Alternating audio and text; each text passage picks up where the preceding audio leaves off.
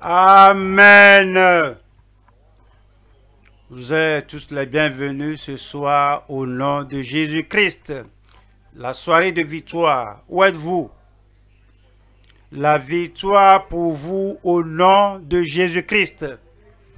Père, nous te remercions de nous avoir amenés ensemble. Merci pour ton peuple et tous les ouvriers, ici et partout. Et ceux que nous connaissons, ceux qu'on ne connaisse pas, nous prions que tout le monde prenne part à ta bénédiction de ce soir au nom de Jésus.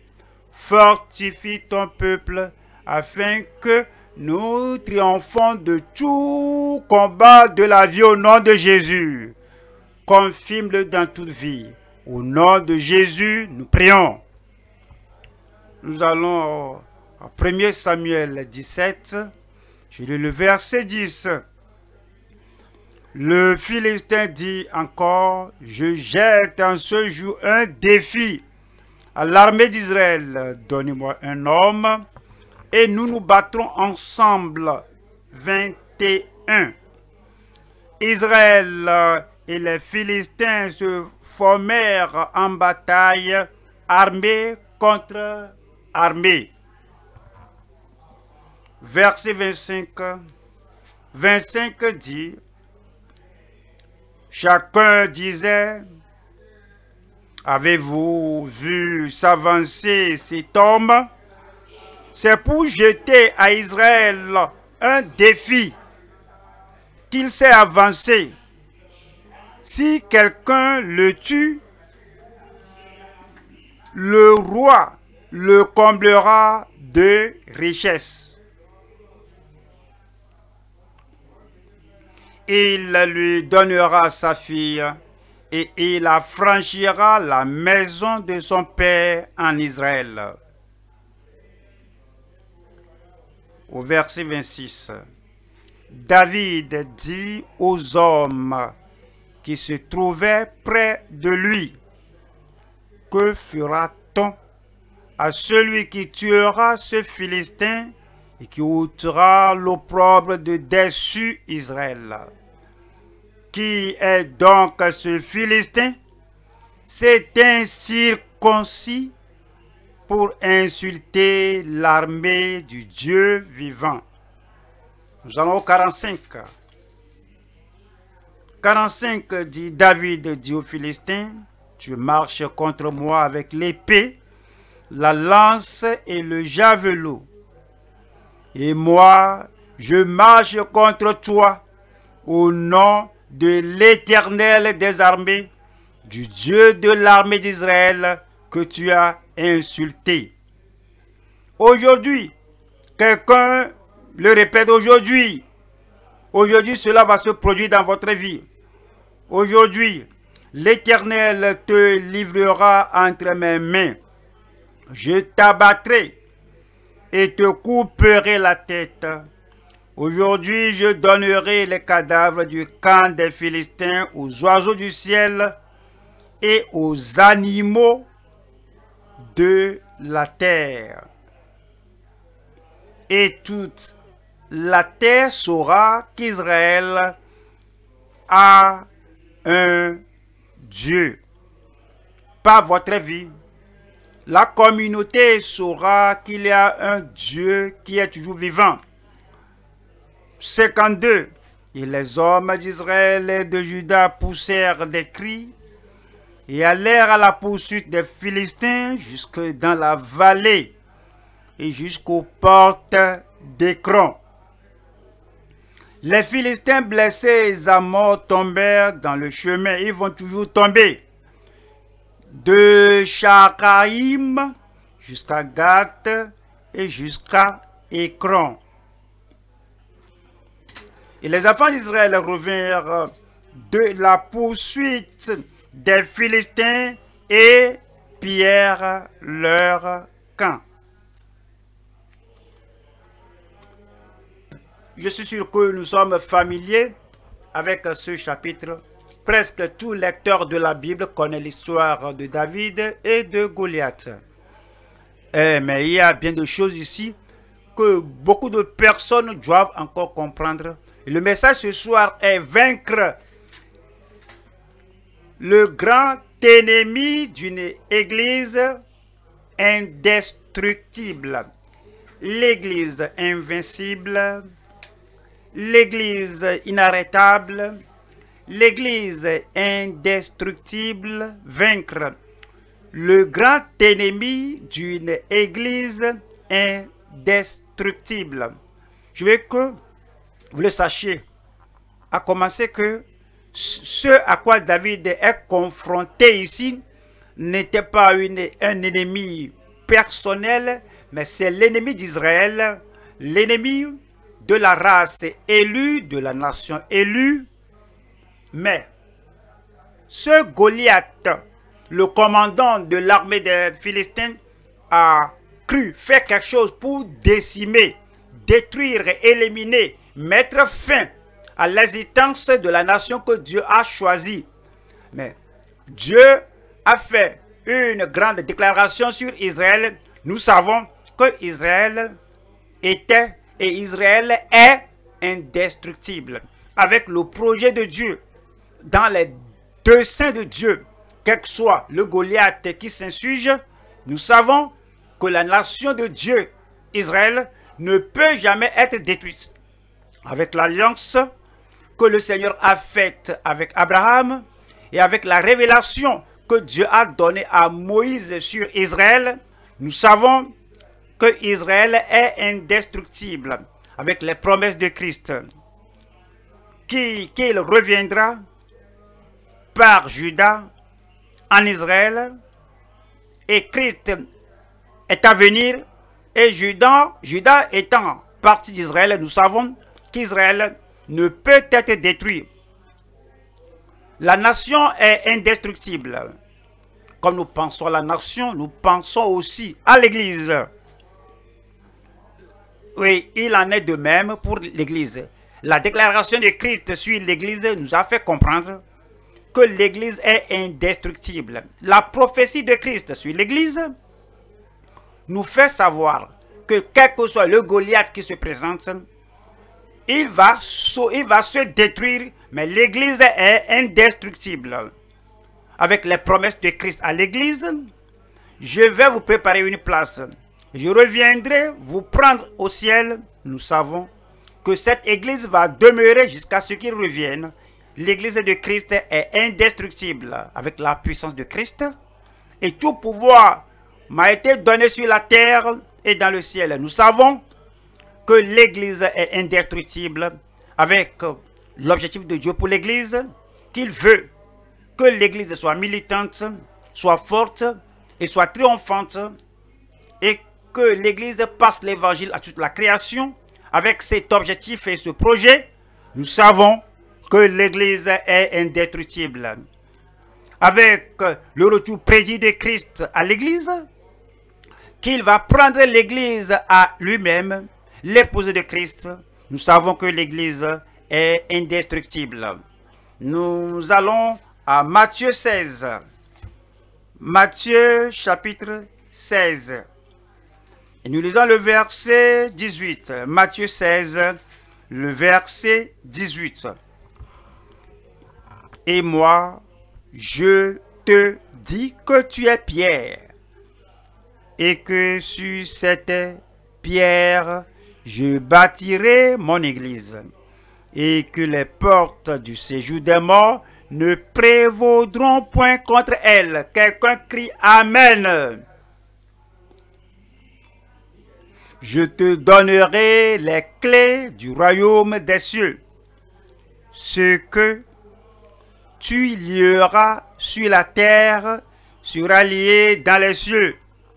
Et ce que tu délieras sur la terre sera délié dans les cieux. De par cela, nous reconnaissons que la craie est dans notre main, la victoire est, est dans notre main, et nous allons vaincre tout Goliath au nom de Jésus-Christ. Le message ce soir, rappelez-vous, c'est vaincre le grand ennemi d'une église indestructible. Nous allons voir trois points. Premier point, la guerre contre le menaçant téméraire Goliath. La guerre contre le menaçant téméraire Goliath. Numéro 2, l'arme de la puissante délivrance de Goliath. L'arme de la puissante délivrance de Goliath. Vous êtes déjà délivré. 3. Notre vigilance contre un plus grand meurtrier, Goliath. Notre vigilance contre un plus grand meurtrier, Goliath. Nous allons au premier point, la guerre contre le menaçant téméraire Goliath. 1 Samuel 17, je lis le verset 4. 1 Samuel 17, le verset 4. Un homme sortit alors du camp des Philistins et s'avança entre les deux armées. Il se nommait Goliath, il était de Gath et il avait une taille de six coudées et un empan. Une guerre est, déclenchée. Les Philistins vont se battre avec les enfants d'Israël et il y a un, ils ont un objectif en vue. Je, vous le dirai, mais allons verset 8. Le Philistin s'arrêta et s'adressant aux troupes d'Israël, rangé en bataille, il cria Pourquoi sortez-vous pour vous ranger en bataille? Ne suis-je pas le Philistin N'êtes-vous pas des esclaves de Saül? Choisissez un homme qui descende contre moi. Je veux que vous reconnaissiez ici que l'homme qui va, qui va, qui va fouetter Goliath n'était pas dans l'armée d'Israël. Il a regardé, il n'a vu personne, ni de Saül jusqu'au moindre, jusqu'au plus grand. Personne ne s'était trouvé. Mais ne craignez pas, l'homme là vient. Je dis, l'homme là est en route. Et il, venait d'être dans le chapitre précédent. Et l'onction là n'était pas en vain. L'onction va briser toujours. Verset 19, verset 9. 9. S'il peut me battre et qu'il me tue, nous vous serons assujettis. Mais si je l'emporte sur lui et que je le tue, vous nous serez assujettis et vous nous servirez. Le verset 10. Le Philistin dit encore, je jette en ce jour un défi à l'armée d'Israël. Donnez-moi un homme et nous nous battrons ensemble. Saül et tout Israël entendirent ces paroles du Philistin et ils furent effrayés et saisis d'une grande crainte. Vous pensez à Israël euh, qui a dit à Samuel, donne-nous un roi qui aille à la guerre avec nous comme les autres nations. Si, tu nous donnes un roi, donc tu as rempli bien ton ministère, nous allons bien avec toi. Mais Samuel, a dit, mais quoi? Dieu est votre gouverneur, Dieu est votre juge, il est votre chef, Dieu est votre commandant, votre dirigeant. Il dit non, nous voulons un roi. Maintenant, ils avaient le roi. Et lorsqu'ils ont vu le roi, voyant sa stature, sa taille, voyant sa posture plus élevée, plus élancée que tous, ah, l'homme là, ça. Et si on n'a pas demandé un roi, et, et s'ils si, ne sont pas persistants d'avoir un roi, alors vive le roi. Et finalement, alors, ils sont arrivés maintenant sur le champ de bataille. Voici la raison pour laquelle ils ont demandé que Saül soit leur roi. Et Saül avait peur, avait peur. Il était, il avait vraiment peur. Il n'avait pas pu face à l'ennemi, à l'ennemi. Le choix que nous faisons nous-mêmes ne nous donnera pas la victoire. Mais Dieu lui-même nous donnera la victoire. Le verset 23. Tandis qu'elle parlait avec eux, voici le Philistin de Gath nommé Goliath s'avança entre les deux armées hors des rangs des Philistins. Il tient les mêmes discours que précédemment et David les entendit. 24. À la vue de cet homme, tous ceux d'Israël s'enfuirent devant lui et furent saisis d'une grande crainte. Goliath, comme je l'avais dit, n'était pas l'ennemi personnel de Goliath, de David. Oui, la plupart de nous, presque tous les croyants dans le pays, nous, nous, ne, nous combattons qu'un problème personnel, un ennemi personnel, celui qui nous lance le défi.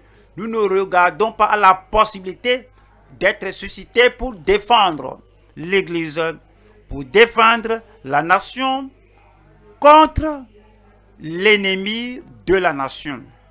Comme on voit David, il voulait confronter l'ennemi d'Israël, l'ennemi de Dieu, l'ennemi de la race élue de Dieu, l'ennemi de la nation élue de Dieu. Goliath avait un projet, il avait un objectif contre la nation d'Israël. Numéro un, c'est pour vaincre Israël. Que si moi je tue l'homme là, donc vous serez nos esclaves et nos serviteurs. Ah, vous serez assujettis, numéro un, c'est pour vaincre la nation et non pour vaincre un garçon, un homme, un soldat, la nation. Deux, c'est pour décroître Israël, dépeupler. Dans cette bataille, Goliath a décidé que toute cette multitude d'Israélites que, à qui Dieu a promis, ils seront comme le sable au, bord de la mer et comme les étoiles du ciel, je vais les décimer, les tuer, les massacrer, les, les décroître. Trois, il avait un but. Le but de détruire l'Église, éliminer les Israélites, éliminer l'armée d'Israël, afin qu'ils soient vulnérables, qu'il n'y ait personne encore qui mène un combat pour eux. Ce, ce, ce, ce combat sera une guerre décisive où il va détruire. 4 c'est pour diminuer leur autorité. Diminuer leur, autorité. Avoir l'autorité sur chacun de leurs tribus et qui se tiennent que qu'il n'y ait personne qui soit en mesure de pouvoir euh, euh, euh, contrôler la nation et l'autorité du roi sur la nation. Que je vais faiblir ça. Je vais faiblir cette nation je vais faiblir ces gens. Et il dit que, oui, nous avons du Dieu, je vais diminuer leur autorité. Numéro 5, c'est pour les rabaisser. C'est pour le montrer aux nations euh, païennes qu'il ne faut pas les honorer, il ne faut pas les respecter, il ne faut pas, faut pas les craindre. Qu'est-ce qu'il peut faire? Seulement un seul homme, Goliath, les a détruits, les a dispersés. Il veut les rabaisser. Et numéro 6, c'est pour les diffamer, que leur réputation partout, que Achab a dit que lorsque votre nouvelle nous est parvenue, nous avons tous peur, nous savons que Dieu vous a donné le pays. Rahab a dit que, plus Rahab, plutôt, lorsqu'on l'a appris, nous avons peur, nous sommes tous désolés. Et, Goliath a dit qu'il va tout renverser sur, inverser cela. Numéro 7, c'est pour avoir la domination sur la nation. Vous serez nos serviteurs, nous aurons la domination sur vous. Nous allons vous opprimer.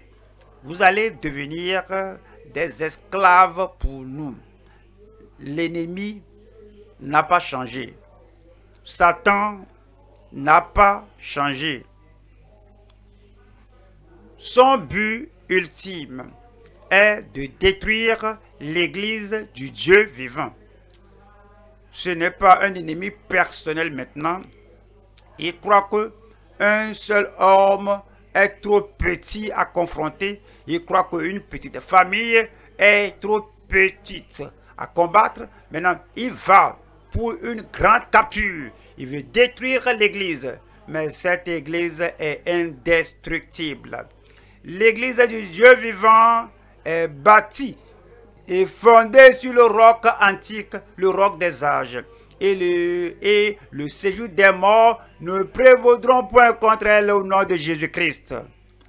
Au fait, depuis la chute de Lucifer, et que la promesse euh, donnée sur son futur, c'est-à-dire qu'il sera condamné en enfer, il est allé dans le jardin d'Éden et il a livré bataille à, contre à, Adam et Ève et les a vaincus.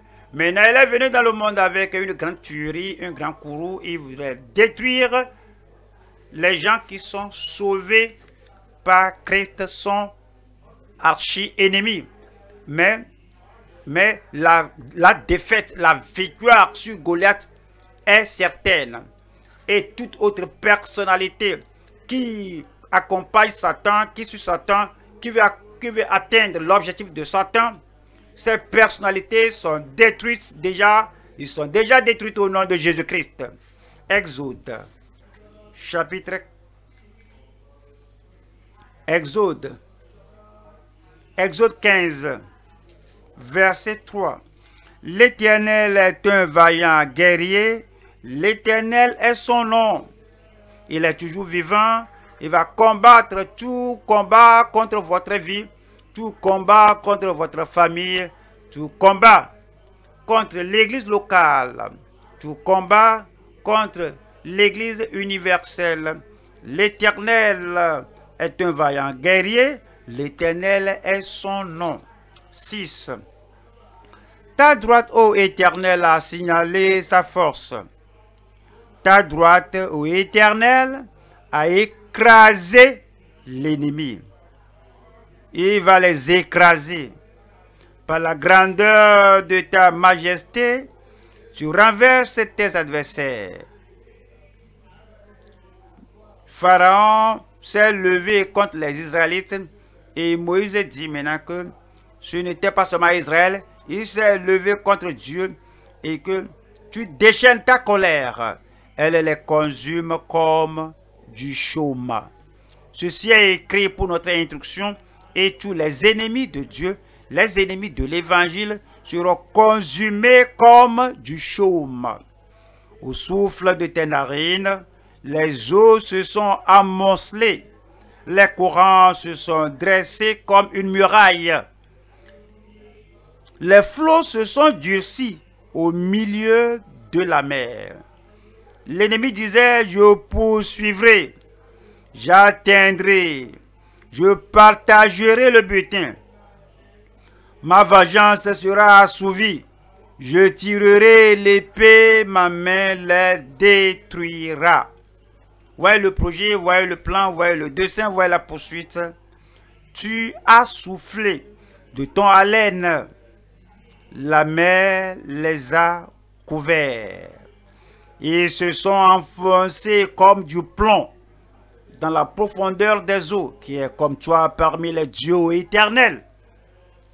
Les idoles ne peuvent pas être au même niveau que notre Dieu, les dieux des Philistins, les dieux des Ammonites, des Amouriens, des Jébusiens, tous ces dieux combinés seront brûlés dans le feu de la colère de Dieu, qui est comme toi, parmi les dieux éternels, qui est comme toi, magnifique en sainteté, digne de louange, opérant des prodiges. Des prodiges vont se produire dans votre vie. Vos ennemis seront surpris que Dieu n'a pas changé. Quiconque vient contre vous, quiconque se lève contre l'Église, alors se lève contre le Dieu Tout-Puissant. Et ils seront vaincus et leur, leur chute est déjà scellée. Je n'ai pas entendu votre Amen. 2 rois, chapitre 19, deuxième roi 19. Je lis le verset 8. Ces ennemis n'ont jamais appris leur leçon. L'un est vaincu, un autre vaincu, un autre se soulève, s'insurge, un, autre, quel que soit euh, la dispensation, l'ère, l'Ancien ou le Nouveau Testament, comme ils se lèvent contre nous, ils seront vaincus au nom de Jésus. 2 Rois 19, verset 8. Rabshakeh s'étant retiré trouva le roi d'Assyrie qui attaquait Libna, car il avait appris son départ de Lachis. Alors le roi d'Assyrie reçut une nouvelle au sujet de Tiraka, roi d'Éthiopie. On lui dit, voici, il s'est mis en route pour te faire la guerre. Et le roi d'Assyrie envoya de nouveau des messagers à Ézéchiel disant, vous parlerez ainsi à Ézéchiel, roi de Juda. Il se soulève encore contre Juda. C'est impossible. Personne ne peut vaincre Juda. Personne ne peut vous vaincre. Et comme nous nous cachons sous la bannière de Christ, le lion de la tribu de Juda, nul ne peut vous détruire ni vous vaincre au nom de Jésus-Christ. Vous parlerez ainsi à Ézéchiel, roi de Juda, que ton Dieu auquel tu te confies ne t'abuse point en disant Jérusalem ne sera pas livrée entre les mains du roi d'Assyrie. Voici, tu as appris ce qu'ont fait les rois d'Assyrie à tous les pays et, comment ils les ont détruits. Et toi, tu serais délivré. Et toi, tu serais délivré. Je pose la question, et toi tu serais délivré? Je demande à l'église, et toi tu serais délivré? Absolument. Je demande à l'église du Dieu vivant, Dieu dans notre vie, dans notre pays, et toi tu seras délivré? Oui, nous sommes déjà délivrés. Que je vous montre la conclusion de cette histoire au verset 35-35. Cette nuit-là, et cela va se passer cette nuit. Dans votre vie, dans notre vie, cette nuit-là, l'ange de l'Éternel sortit. Combien d'anges? Dites-le moi. Un seul ange. Cette nuit-là, l'ange de l'Éternel sortit et frappa dans le camp des Assyriens. Regardez ceci.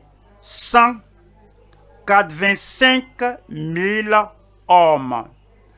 Et quand on se leva le matin, voici c'était, dites-le moi à haute voix, voici c'était tout des corps morts. Un seul ange. Au fait, Ézéchiel n'a pas pu mener le combat. Le combat n'est pas pour vous, c'est le combat de l'éternel. Et un seul ange suffit pour détruire 195 000 de en un instant au nom de Jésus-Christ. Et Esaïe 41, Esaïe 41, Esaïe 41, 12. Esaïe 41, le verset 12. Tu les chercheras et ne les trouveras plus, ses ennemis. Tu les cherchera et ne les trouvera plus.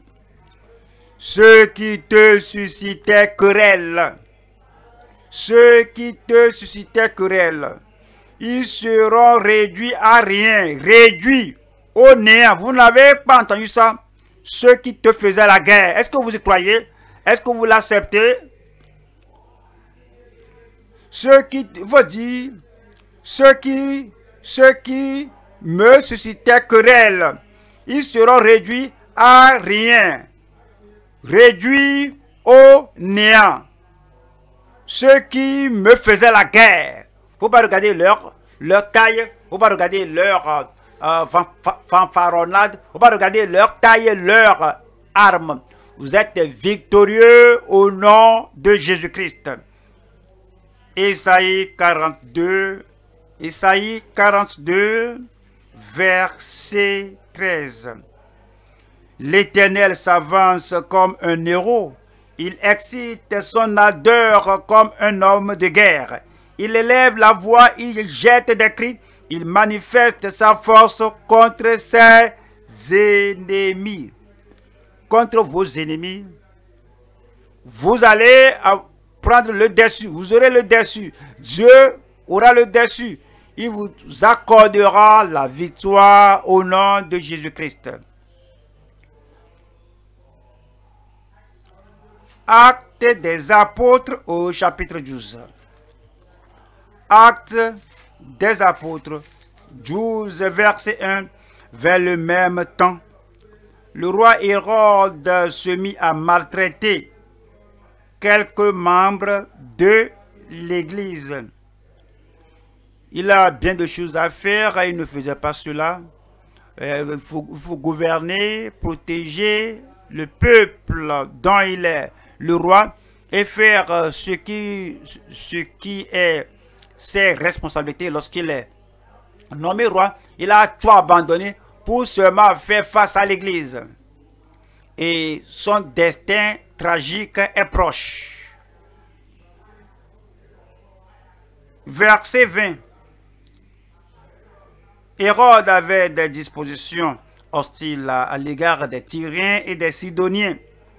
Mais ils vinrent le trouver d'un commun accord.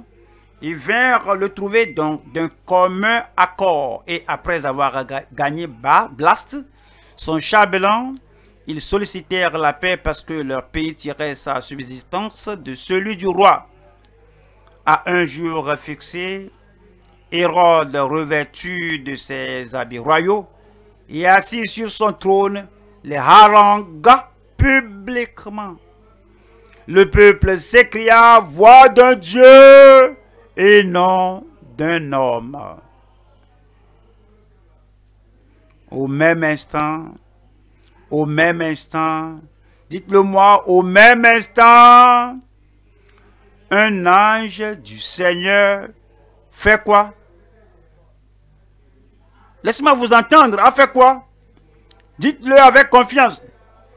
Un ange du Seigneur le frappa. Vous voyez? Vous voyez?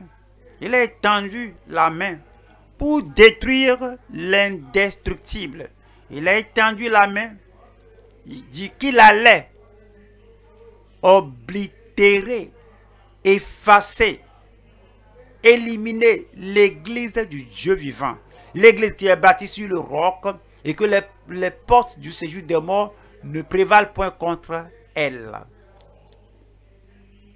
Écoutez, tous les ennemis de l'Église indestructible, c'est ainsi qu'ils prendront fin. Au même instant, un ange du Seigneur le frappa parce qu'il n'avait pas donné gloire à Dieu et il expira rongé des vers. 24, tout le monde, lisons 1, 2, 3. Cependant, la parole de l'Éternel, répétez encore cela, cependant, la parole de l'Éternel, ce qui voulait détruire, tuer, voulait détruire, la parole de Dieu se répandait de plus en plus. Vous irez de plus en plus fort. Vous irez de plus en plus élevé. Et le Seigneur nous accordera, vous accordera, m'accordera, accordera l'Église la victoire au nom de Jésus-Christ. Deuxième point maintenant. L'arme de la puissante délivrance de Goliath. Cet Égyptien que vous voyez aujourd'hui, les Égyptiens que vous voyez aujourd'hui, vous ne les verrez plus au nom de Jésus-Christ. Le Goliath que vous voyez, que vous attendez, vous tremblez devant lui, vous ne le verrez plus au nom de Jésus-Christ. Nous allons à 1 Samuel 17, verset 40. 1 Samuel 17, verset 40. Il prit en main son bâton, choisi dans le torrent cinq pierres polies. Il les mis dans sa gibecière de berger et dans sa poche, puis sa fronde à la main, il s'avança contre le Philistin. Le Philistin s'approcha peu à peu de David et l'homme qui portait son bouclier marchait devant lui. 45. David dit aux Philistins, tu marches contre moi avec l'épée, la lance et le javelot. Et moi, je marche, quelqu'un là-bas, et moi je marche. quelqu'un là-bas et moi je marche. Et moi je marche contre toi au nom de l'éternel des armées, du Dieu de l'armée d'Israël que tu as insulté. Aujourd'hui, l'Éternel te livrera entre mes mains. Votre victoire est assurée. Je t'abattrai et je te couperai la tête. Aujourd'hui, je donnerai les cadavres du camp des Philistins aux oiseaux du ciel et aux oiseaux de la terre. Et toute la terre saura qu'Israël a un Dieu. Alors personnalisons cela pour s'appliquer à nous-mêmes. Regardez notre Église, pas l'Église universelle ou l'Église invisible ou l'Église de la nation ou l'Église de par le monde. Je parle de la vie profonde. Dieu, Dieu est-il à la vie profonde? Regardez votre euh, réponse. Maintenant, si quelque chose est contre vous, le résultat, comme Dieu va vous protéger, comme Dieu va vous défendre, nous savons que Dieu est dans l'église. Maintenant, votre communauté saura que Dieu est avec vous et avec l'église. Les eaux ne vont pas vous submerger. Le feu ne va pas vous embraser. Les difficultés ne vont pas vous écraser. Goliath ne, ne peut, ne fera pas de vous, de votre corps, une proie pour les oiseaux au nom de Jésus. Cette situation ne vous tuera pas. Cela ne vous détruira pas. Que toute la terre sache qu'il a un Dieu en Israël. L'arme de la puissante délivrance de Goliath. David a vaincu Goliath avec sa petite arme. Chacun de nous, comme David, peut vaincre l'ennemi. Je peux. Je dis je peux. Je le ferai. Je dois le faire. Ce que je peux faire, je dois le faire. Ce que je peux faire, je le ferai. Vous pouvez tout faire. Je peux tout faire. À travers Christ. Il faut le dire, non?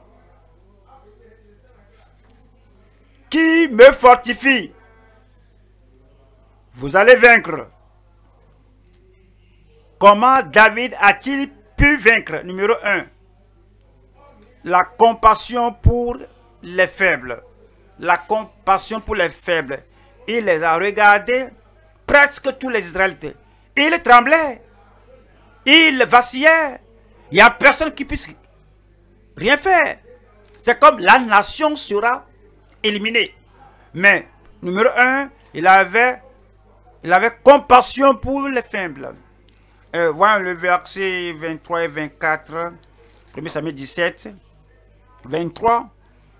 Tandis qu'il parlait avec eux, voici le Philistin de Gath, nommé Goliath, s'avança entre les deux armées, hors des rangs des Philistins. Il tient les mêmes discours que précédemment, et David les entendit. À la vue de cet homme, tous, euh, tous ceux d'Israël s'enfuirent devant lui et furent saisis d'une grande crainte. C'est ce qui a incité le courage de David, la compassion pour les faibles.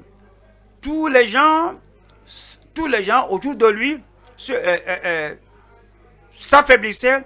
Ils croyaient que le problème est trop grand, qu'ils ne peuvent pas vaincre. Si vous allez vaincre pour vous, pour la famille et pour l'Église, vous devez avoir, numéro un, la compassion pour les faibles. Deux, il y a la conversation avec les fidèles. Les gens étaient là, ils étaient sur le champ de bataille, étaient fidèles, ils voudraient même mener la guerre, mais c'est parce que leur force ne peut pas égaler à celui, à celle de l'ennemi. Verset 25 dit, Chacun disait, avez-vous vu Avez-vous vu s'avancer cet homme? C'est pour jeter à Israël un défi qu'il s'est avancé. Si quelqu'un le tue, le roi le comblera de richesses. Il lui donnera sa fille et il affranchira la maison de son père en Israël. David dit aux hommes qui se trouvaient près de lui la conversation. Vous vous ne pouvez pas être une personne séparée, solitaire. Vous avez une bonne intention, vous avez la force, le courage, mais discutez avec les fidèles aussi que la conversation des fidèles vous fortifie de plus. 3. La confrontation de la famille. La confrontation de la famille. Si vous allez vaincre, et Dieu merci, vous allez vaincre, vous devez savoir que les membres de votre famille vous confronteront. Pourquoi tu fais cela? Pourquoi tu vas là-bas? Pourquoi tu es si zélé? Pourquoi tu crois que tu peux faire ça? Tu veux gâter ta vie. Tu es trop jeune pour cela. La confrontation de la famille. Verset 28. Eliab, son frère aîné, qui l'avait entendu parler à ses hommes, fut enflammé de colère contre David. Et dit, pourquoi es-tu descendu à qui? As-tu laissé ce peu de brebis dans le désert? Je connais ton orgueil et la malice de ton cœur. C'est pour voir la bataille que tu es descendu. David répondit, qu'ai-je donc fait? Que tu n'as rien vu Tu crois que je suis venu fourrer mon nez dans cette affaire que je suis en train, sinon de me mêler dans ce qui ne me concerne pas? Non. Il dit, ne puis-je pas parler ainsi, euh, euh, Eliab, n'est-ce pas pour un objectif que je suis né? N'est-ce pas pour un, objectif que je suis? Et, ouais, en chapitre 16 et 17, et voici nous sommes 17, et Dieu a dit que Dieu a dit à Samuel que tu n'es pas l'homme, il ne faut pas regarder sa taille, ce n'est pas l'homme rejeté, n'est-ce pas Et n'est-ce pas pour euh, euh, un objectif que je suis choisi, que je suis venu au moment nommé pour euh, me battre avec l'ennemi de la nation N'est-ce pas pour, un objectif pour lequel vous êtes sauvé? Pourquoi êtes-vous sauvé? Pourquoi êtes-vous venu à l'église? Pourquoi êtes-vous devenu membre de l'église du Dieu vivant? Pourquoi êtes-vous devenu un ouvrier Et qu'est-ce que Dieu vous a nommé à faire dans l'église? Et l'onction sur votre vie. Et n'est-ce pas pour une cause? Nous verrons la gloire à la fin de ce chapitre. Et ce qui se passe, l'église, que eh, le parcours que l'église parcourt maintenant, le chapitre que votre famille parcourt maintenant, on verra la gloire à la fin au nom de Jésus-Christ. Trois, la confrontation de l'ennemi, de la famille. Quatre, la consécration en sa plénitude. Si nous allons vaincre, Dieu merci, nous allons vaincre. Y a-t-il des vainqueurs là-bas? C'est ainsi qu'il faut vaincre. La consécration en sa plénitude. Le verset 32. David dit à Saül, personne ne se décourage à cause de ce Philistin.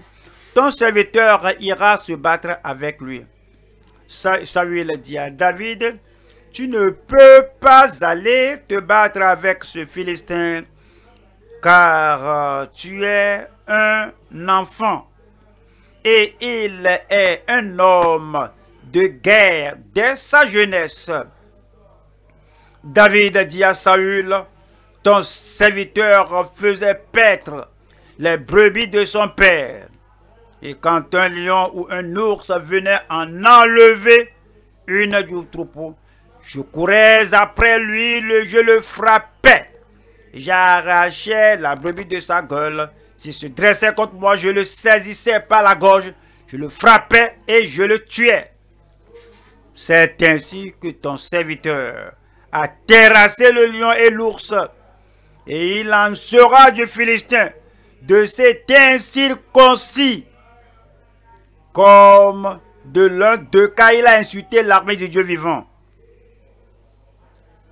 Ce Philistin, cet incirconcis, cet ennemi qui s'est soulevé, sera totalement vaincu et honni au nom de Jésus, numéro 5.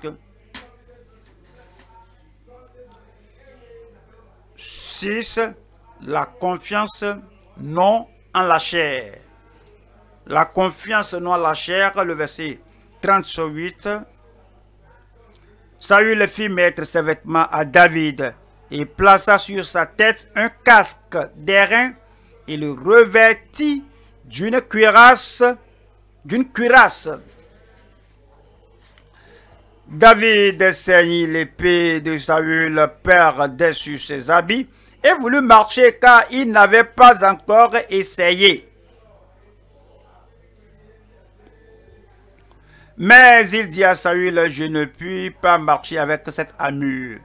Nous allons triompher avec. Nous allons triompher sans l'âme de la chair. Je ne puis pas marcher avec cette armure. Ce que je sais, c'est la foi, c'est l'onction. Que je sais, c'est l'onction. Mais ce, ce, ce truc pesant, je ne je l'ai jamais essayé. Je n'y suis pas accoutumé. Et il s'en débarrassa. Votre confiance ne sera pas en la chair au nom de Jésus-Christ. Numéro 6 la confession, la confession de la foi. Ne laissez pas des paroles d'incrédulité sortir de votre bouche. La confession de la foi. Verset 45. David dit aux Philistins, tu marches contre moi avec l'épée, la lance et le javelot, et moi je marche contre toi. Au nom de l'Éternel des armées, du Dieu de l'armée d'Israël que tu as insulté. Aujourd'hui, l'Éternel te livrera entre mes mains. Je t'abattrai et te couperai la tête. Aujourd'hui, je donnerai les cadavres du camp des Philistins aux oiseaux du ciel, aux oiseaux de la terre. Et toute la terre saura qu'Israël a un Dieu. Dieu est-il avec vous là-bas? À la maison, est-il avec vous? La nuit, Dieu est-il avec vous? Il ne vous délaissera pas. Il ne vous abandonnera pas. Donc vous pouvez dire avec confiance que l'Éternel est mon aide. Que peut me faire un homme? Numéro 7 l'engagement de tous les disciples. L'engagement de tous les disciples. 51. Et courut s'arrêta près du Philistin, se saisit de son épée qu'il tira du fourreau, le tua et le coupa la tête. Les Philistins, voyant que leur héros était mort, ils font quoi? Dites-le moi. Dites-le à haute voix. Prenez la fuite. Cela va se passer dans votre famille. Cela va se produire dans votre église locale.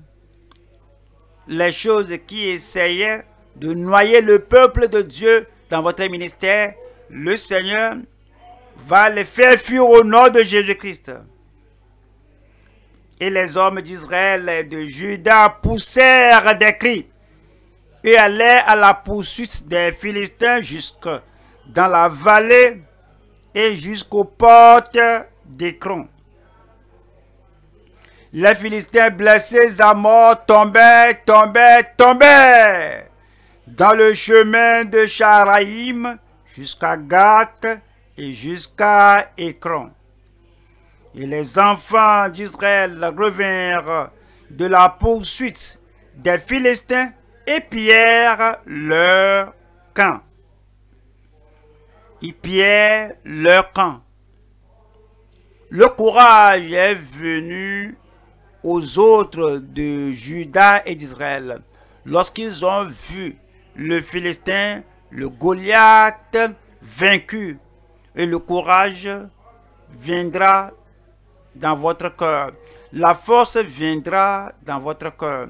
Lisez l'histoire là à maintes reprises et mettez-vous à la place de David.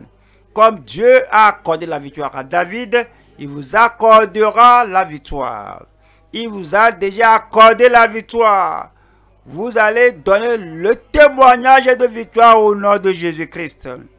Troisième point maintenant, notre vigilance contre un plus grand meurtrier Goliath. Notre vigilance contre un plus grand meurtrier dangereux Goliath. Voici une affaire très sérieuse. Voici une affaire auquel beaucoup, une affaire que beaucoup n'y pensent pas. Les gens ne croient pas qu'il y a, euh, un, Goliath, il y a un Goliath qui a fait face au peuple de Dieu. Maintenant, il y a un plus meurtrier Goliath qui confronte les gens aujourd'hui.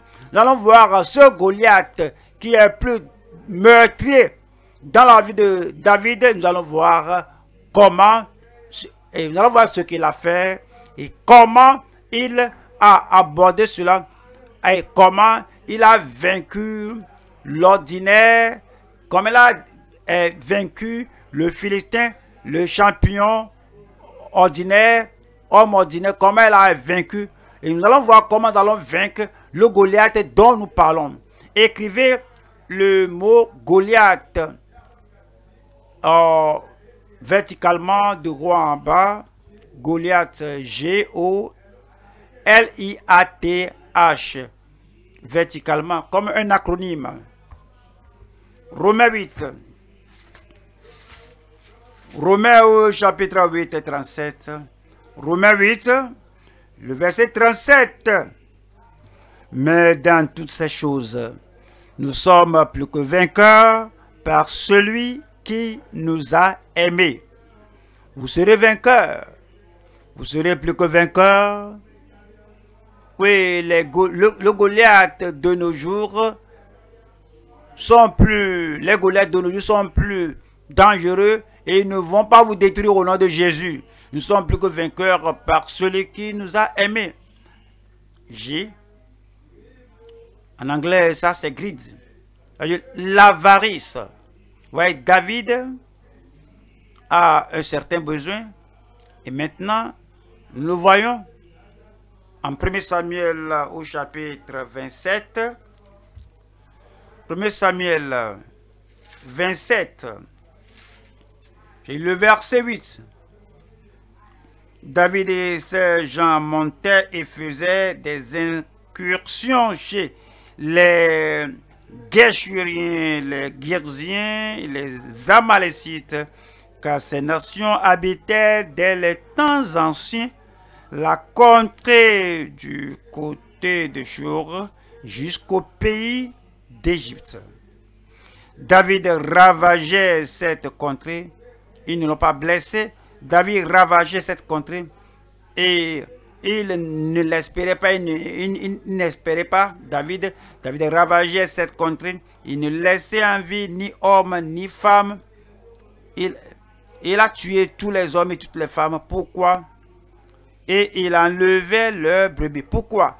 Il enlevait les brebis, les bœufs, les ânes, les chameaux, les vêtements, puis s'en retournait et allait chez Akish. Ça, on a vu là-bas. L'avidité. L'avidité, voudrait s'accaparer de ce qui appartient aux autres. Ce qu'on a vu là-bas, l'avidité. Ils ne sont pas satisfaits de ce qu'ils ont. Ils voudraient prendre, s'accaparer de ce qui est autrui. C'est pour un gain d'avidité, un gain avide. Verset 10. Akish disait, où avez-vous fait aujourd'hui vos courses? Et David répondit vers le midi de Judas. C'est pas vrai, David. Vers le midi, des, c'est Gérachmélites. Vers le midi, des Kenyans. C'est pas vrai, David. Tu n'as pas mentionné là, tu étais verset 11.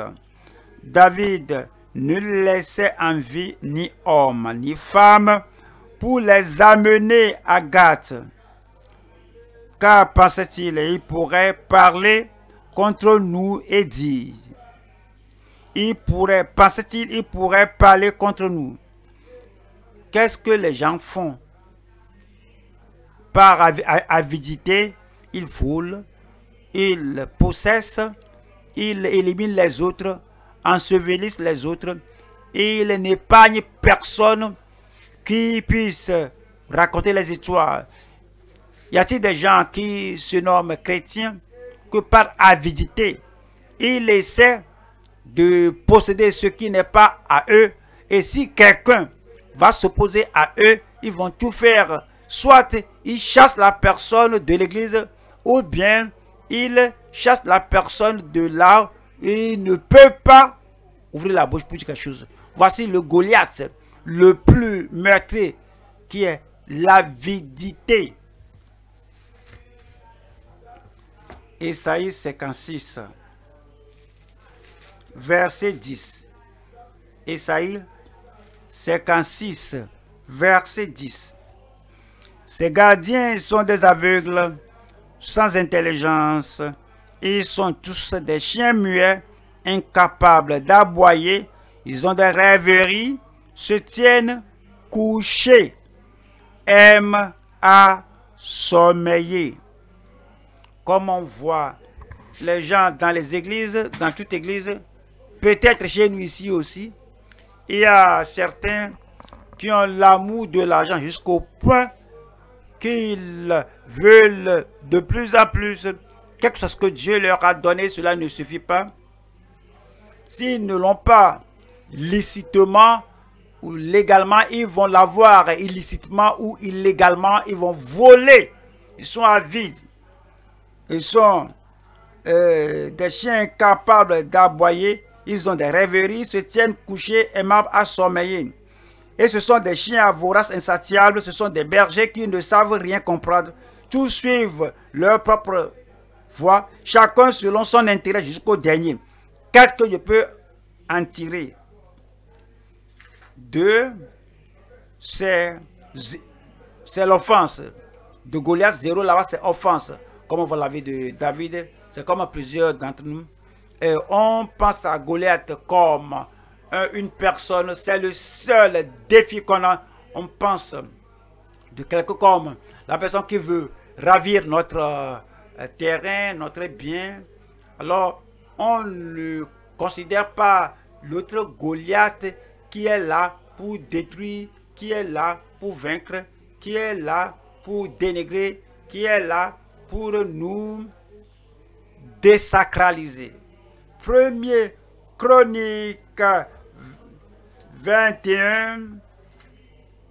Premier chronique 21, verset 1. Satan se leva contre Israël et il excita David à faire le dénombrement d'Israël. Il excita David à faire le dénombrement d'Israël. Il n'avait vu aucun problème ici. Son problème, c'est Goliath. Allons tuer Goliath. Mais regardez ceci maintenant. Satan s'est infiltré dans ses pensées, dans sa mémoire, pour faire quelque chose qu'il ne devait pas faire. Verset 7. 7. Cet ordre déplut à Dieu qui frappa Israël. Et David dit à Dieu, j'ai commis un grand péché en faisant cela. Oui. Frapper Israël, c'est l'intention de Goliath. Quelque chose ce que Satan va utiliser. Utiliser Goliath. Si euh, Goliath n'a pas pu et il était mort, il va utiliser l'avidité, il va utiliser l'offense, le verset 14. L'Éternel envoya la peste en Israël. Et il tomba. Dites-le moi, 70 000 hommes d'Israël. Dites-le à haute voix.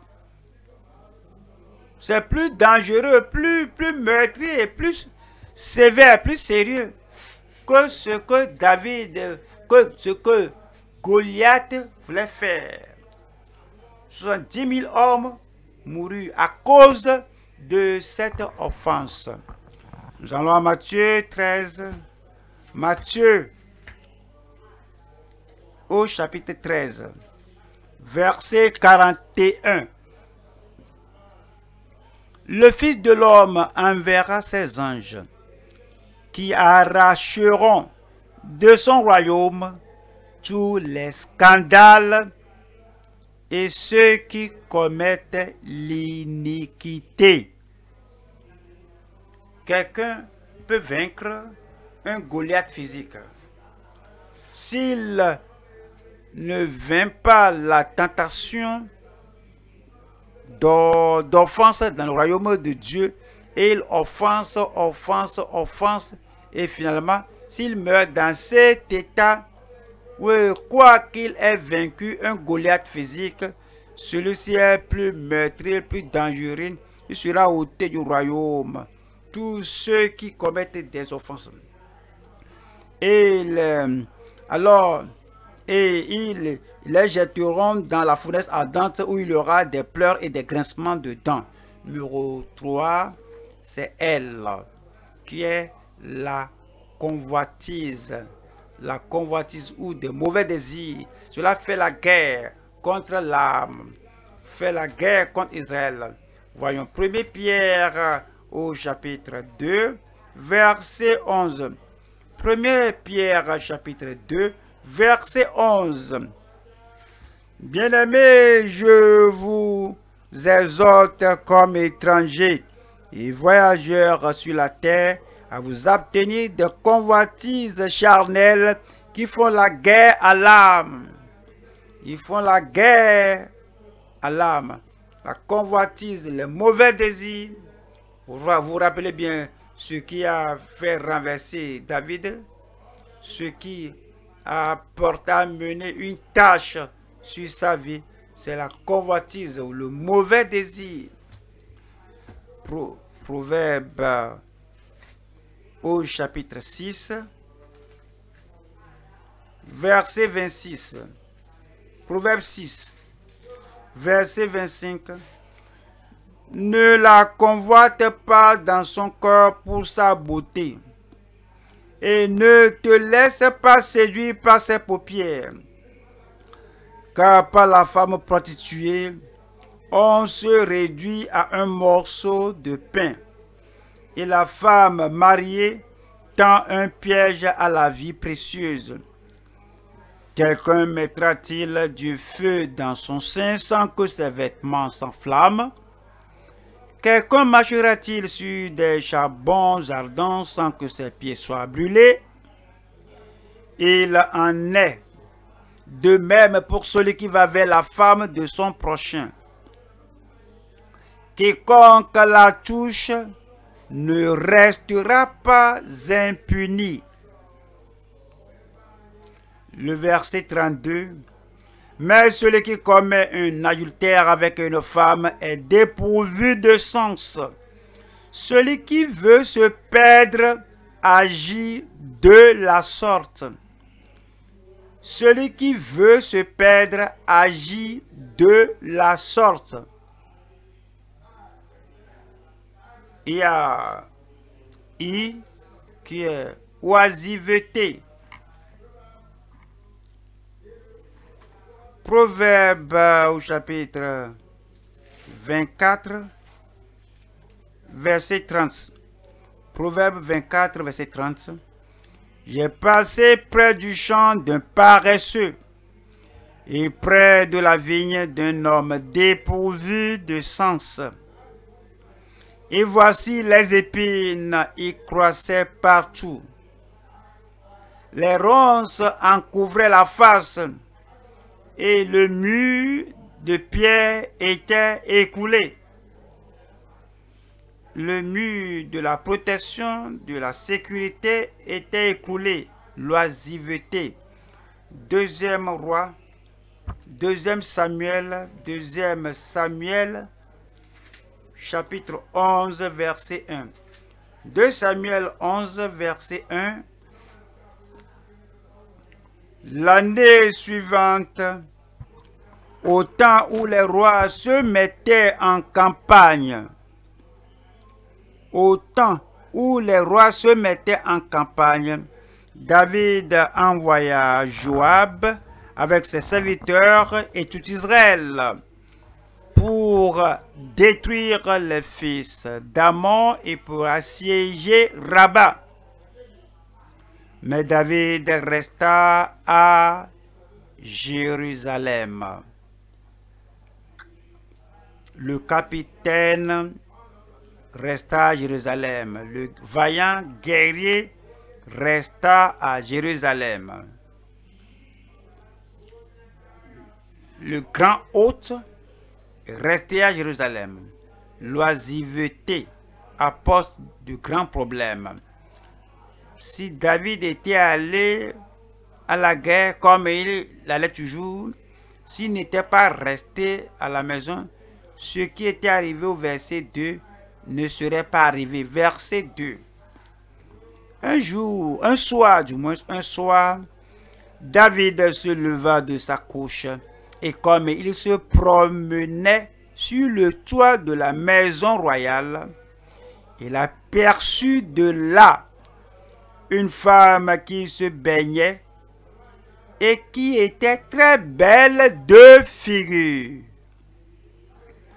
David fit demander, ainsi l'histoire continue, l'oisiveté ouvre la porte au diable de faire de la mémoire de quelqu'un un atelier où la personne conçoit du mal et pratique le mal.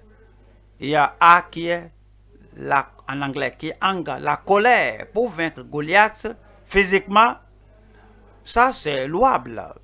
Mais pour veiller contre l'avidité, contre euh, veiller contre l'oisiveté, contre l'offense, contre l'oisiveté, contre la colère. Voyons 2, 2 Samuel 12, verset 5. 2 Samuel 12, 5. La colère de David s'enflamma violemment contre cet homme et dit à Nathan, L'Éternel est vivant, l'homme qui a fait cela mérite la mort. Nathan lui a raconté une histoire, vous connaissez bien l'histoire, c'était une parabole, une illustration, et cette illustration a excité la colère de David. Ceux qui n'arrivent pas à contrôler leur tempérament, ils apprennent que ceci est arrivé, ceci n'est pas, ceci est arrivé, alors ils, n'ont pas encore conclu, alors la colère surgit. Et dit, euh, et il rendra quatre brebis pour avoir commis cette action et pour avoir été sans pitié. Et Nathan dit à David, tu es cet homme-là. Tu te fâches, tu es l'homme-là. Tu es le coupable. Matthieu 7, verset 1. Matthieu 7, verset 1. Ne jugez point afin que vous ne soyez point jugés, car on vous jugera du jugement dont vous jugez, et l'on vous mesurera avec la mesure dont vous mesurez. Pourquoi vois-tu la paille qui est dans l'œil de ton frère et n'aperçois-tu pas la poutre qui est dans ton œil?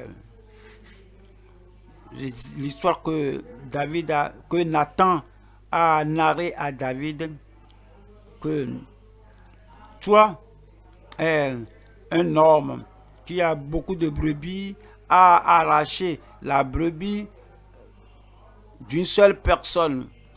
Ce que David a fait, David a tué Uri, la femme, Uri, le mari de Bathsheba, et a commis l'adultère avec Bathsheba.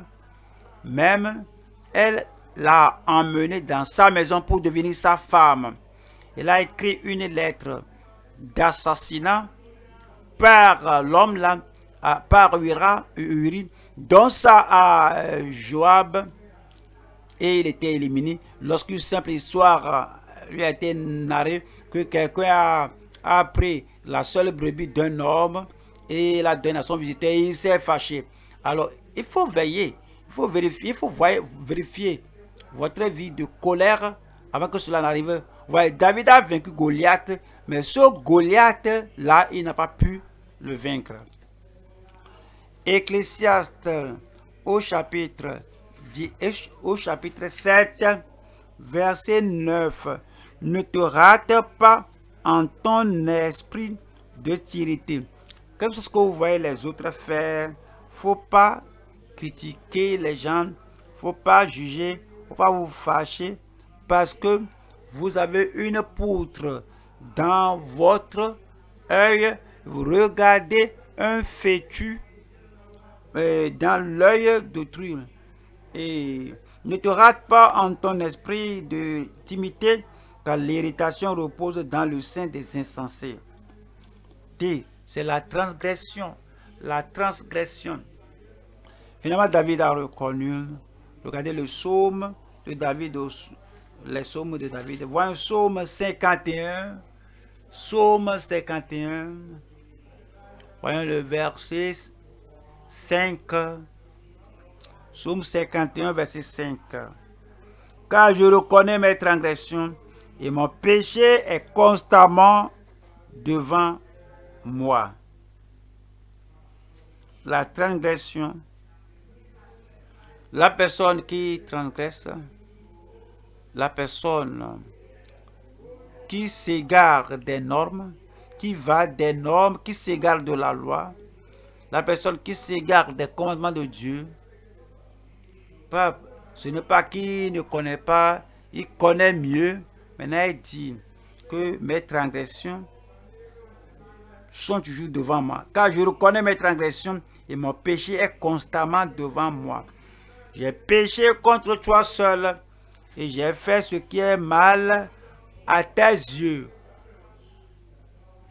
en sorte que tu seras juste dans ta sentence, sans reproche dans ton jugement. Voici, je suis né dans l'iniquité, et ma mère m'a conçu dans le péché. Mais tu veux que la vérité soit au fond du cœur. Fais donc pénétrer la sagesse au-dedans de moi. Purifie-moi avec l'hysope, et je serai pur, lave-moi, et je serai plus blanc que la neige. Il a dû se repentir et confesser et supplier, prier pour le pardon et la purification. Verset 10. Annonce-moi l'allégresse et la joie, et les eaux que tu as brisées se réjouiront. Détourne ton regard de mes péchés. Efface toutes mes iniquités. Ô Dieu, crée en moi un cœur pur. Renouvelle en moi un esprit bien disposé. Ne me jette pas loin de ta face, ne me retire pas ton Esprit Saint. Rends-moi la joie de ton salut et qu'un esprit de bonne volonté me soutienne. Après ma restauration, après le renouvellement de mon cœur, j'enseignerai tes voies à ceux qui les transgressent, et les pécheurs reviendront à toi. Les transgresseurs doivent comprendre que vaincre un Goliath physique, c'est grand, mais cela ne suffit pas. Vous devez vaincre l'avidité, l'offense, la convoitise, l'oisiveté, la colère, la transgression. C'est bon que David en ce temps-ci prie pour qu'il ait les transgressions effacées et qu'il puisse avoir un cœur affranchi à nouveau. Proverbe au chapitre 13. Proverbe 13, verset 15. Une raison saine a pour la grâce, mais la voix des perfides, des perfides est dure, est rude. Vous allez découvrir après cela, après cet événement, et ce cœur de David est devenu rude, dur pour lui. Allons en 2 Samuel. Alors il y a H qui est hypocrisie. David, le Goliath qui fait face à tout le monde aujourd'hui. Il y a l'avidité, l'offense, la convoitise, il y a l'oisiveté, il y a la colère, la transgression, l'hypocrisie. L'hypocrisie maintenant de l'homme là. 2 Samuel, 2 Samuel, chapitre 12, verset 1. 2 Samuel 12, verset 1. L'Éternel envoya Nathan vers David. Et Nathan vint à lui et lui dit, Il y avait dans une ville deux hommes, l'un riche et l'autre pauvre. Vous connaissez bien l'histoire, verset 5. La colère de David s'enflamma violemment contre cet homme et il dit à Nathan, L'Éternel est vivant L'homme qui a fait cela mérite la mort. Avant qu'il ne mourût, l'homme qui a fait cela mérite la mort. Et il rendra quatre brebis pour avoir commis cette raison et pour avoir été sans pitié. Et Nathan dit à David, quel est ce genre d'hypocrisie tu es cet homme-là. Romains au chapitre 2. Romains 2, verset 1. Ô, homme qui que tu sois, toi qui juges, tu es donc inexcusable, car en jugeant les autres, tu te condamnes toi-même. Nous devons vaincre cette tendance, cet enclin de faire quelque chose, cacher la chose, en protégeant nos faiblesses et en critiquant et en condamnant les autres. En jugeant les autres, tu te condamnes toi-même, puisque toi qui juges, tu fais les mêmes Verset 2. 2. Nous savons en effet que le jugement de Dieu contre ceux qui commettent de telles choses est selon la vérité. Et penses-tu aux hommes qui jugent ceux qui commettent de telles choses et qui les fait que tu échapperas au jugement de Dieu, au jugement de Dieu Finalement, David s'est vu dans le piège. Il est allé au trône de la grâce et Dieu lui a pardonné. Je prie que chacun de nous se détourne du Goliath physique. Celui-là est déjà à terre. Lui, il est déjà à terre. Mais examinez votre vie. Vous allez voir l'avidité là-bas. Vous allez voir l'offense là-bas. Vous allez voir la convoitise là-bas. Vous allez voir l'oisiveté là-bas, la colère, la transgression, l'hypocrisie. Romains 2, 21. Toi donc qui enseignes les autres, tu ne t'enseignes pas toi-même. Toi qui prêches de ne pas dérober, tu dérobes. Toi qui dis de ne pas commettre d'adultère, tu commets l'adultère. Toi qui as en abomination les idoles, tu commets des sacrilèges, voler, même dans la maison de Dieu, quoique euh, vous paraissez saint à l'extérieur. 23. Toi qui te fais une gloire de la loi, tu déshonores Dieu par la transgression de la loi, car le nom de Dieu est à cause de vous blasphémé parmi les païens, comme cela est écrit. Puisse le Seigneur nous fortifier, nous renforcer, nous équiper, nous accorder la force contre toute forme de Goliath dans la vie au nom de Jésus-Christ. Éphésiens 6, 10. Éphésiens 6, 10.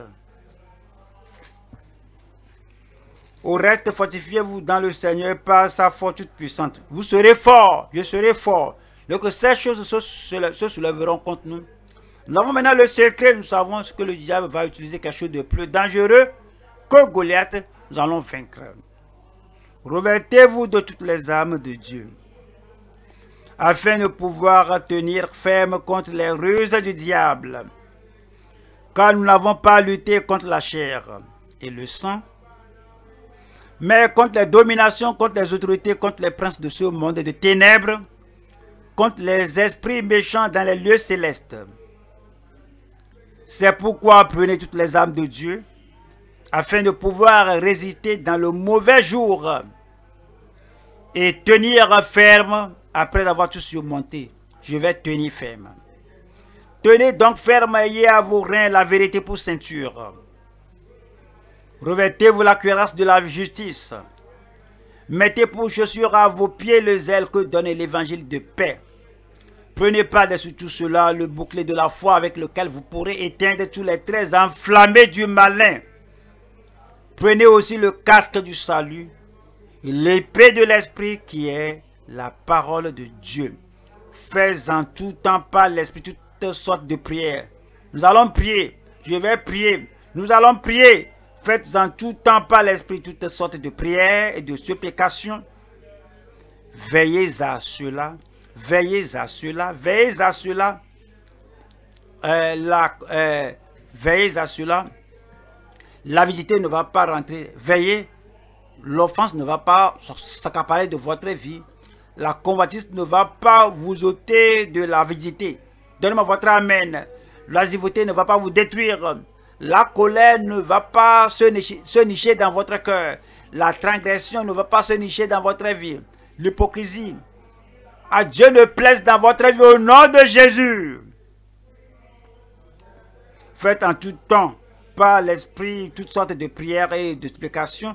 Veillez à cela avec une entière persévérance et priez pour tous les saints. Nous devons veiller. Je vais veiller. Nous devons lutter. Je vais lutter. Nous devons vaincre. Vous avez déjà vaincu nous veillons, nous allons, nous luttons et nous vainquons afin de régner, afin de régner comme Christ, pour régner avec Christ, pour régner avec Christ, le fils de, David. Comme elle a vaincu, nous allons vaincre. Et nous régnerons avec Christ. Où est la personne qui régnera? Nous régnerons avec Christ. Vous serez plus que vainqueurs au nom de Jésus. Tenons-nous debout maintenant et parlons au Seigneur. Que le Seigneur vous fortifie, qu'il vous fasse veiller contre le, plus dangereux Goliath et que ce Goliath qui a finalement vaincu David et David a dû s'incliner, prier, rouler par terre pour être restauré que ce, ce Goliath ne nous vainque pas au nom de Jésus. Ouvrez la bouche et priez le Seigneur.